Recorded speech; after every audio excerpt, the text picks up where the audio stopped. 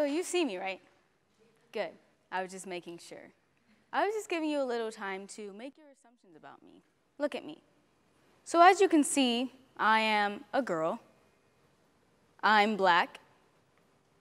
I'm young. Depending on your age, you must think I'm young. And I'm pretty, or at least I think I'm pretty.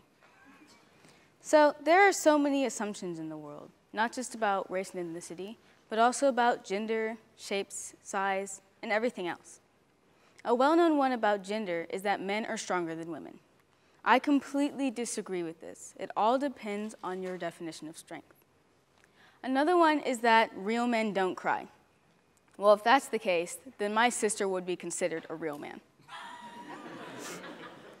As you can see, there are so many other assumptions in the world. There's one even about music, such as country music is only for Texans or Southerners, or classical music is only for rich old people who live in fancy mansions. now, let's get into the science of all this. I know, I know, no one likes homework. That's why you came here. But it'll all be over soon, I promise. So, why do we tend to judge people? Well, I be scientists believe we do this because of our insecurities and self-consciousness about ourselves. And I believe that's kind of true. Of course, I have made assumptions about people in my life now and again, and I've constantly tried to stop that myself. But I believe if we look at this in a different way, such as in a mirror of sorts, we can see people in a different way as well. So I just want to do a little experiment. Look at the people around you, one right next to you or the person around you, and come up with the first assumption you think of them. Now, look at yourself in a mirror. Think of the first assumption that they would think of you. What I'm trying to say here is think unto others as you would want others to think unto you.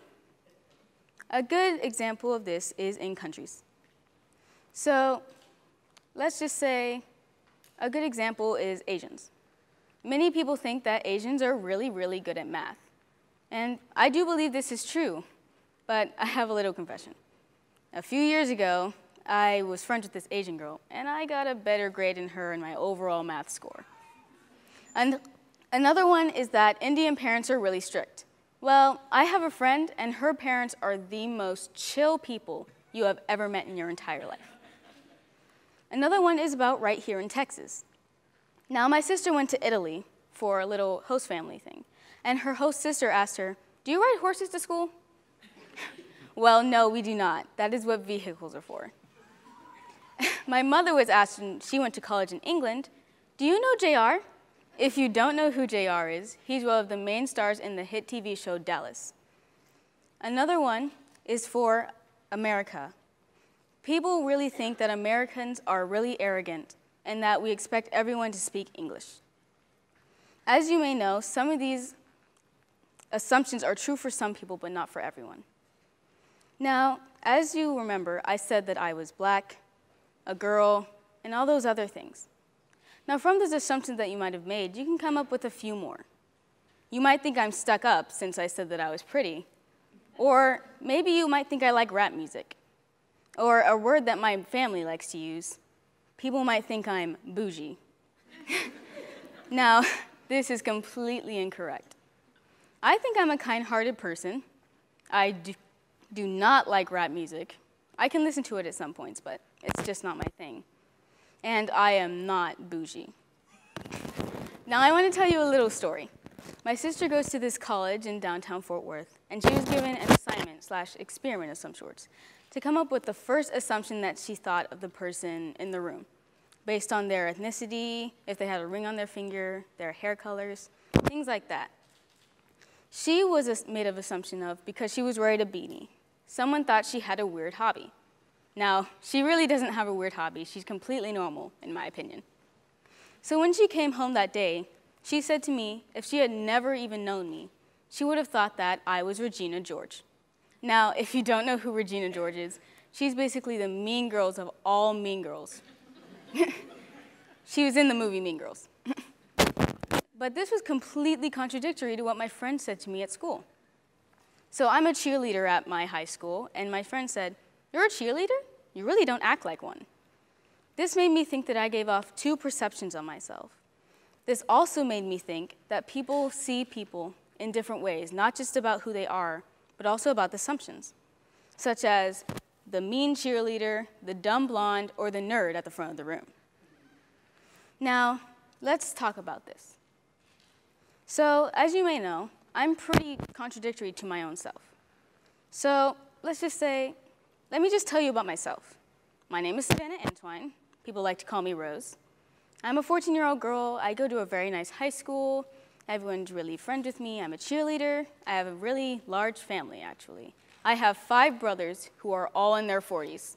One's about to turn 50. Now that's kind of weird. I've also been playing the piano for 11 years. Crazy, right? And I bet you would have never expected me to be accepted into one of the best music high schools in the country at only the age of 10. Now, I did do an analogy of a mirror, but I want to do an analogy of something a little bit more close to home. So let's look at this piano. So let's think of assumptions. Let's think of every note is one assumption. So as you may know, I'm a girl. I'm black. I'm young. And I am pretty. now, as you may know, four notes of a song do not make up the entire song. It's the exact same for people. Four assumptions that you make up of a person is not the whole person themselves. Now I want to show you who I truly am.